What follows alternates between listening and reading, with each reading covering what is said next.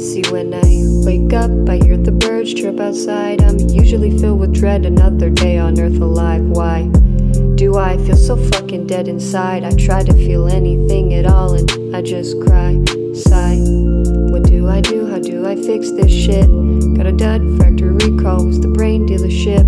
No thanks, like to return, can I exchange this bitch? Got a lemon piece of junk, I'm ready to hang or slit. Then when I roll over to